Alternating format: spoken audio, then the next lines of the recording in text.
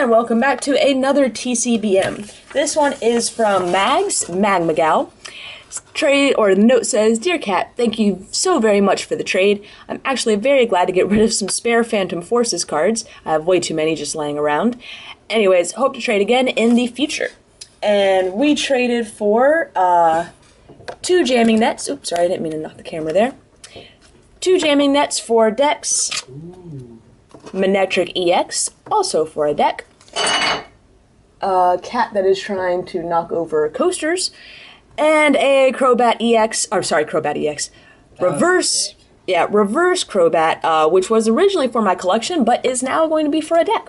So thank you very much, Magmagal, for helping me out with not only decks, um, Actually, well, yeah, I guess, it, like I said, this was originally a collection card, um, but now they're all deck cards. And uh, think I finally have like a 4 4 line of Manectric, so pretty uh, happy about that one too.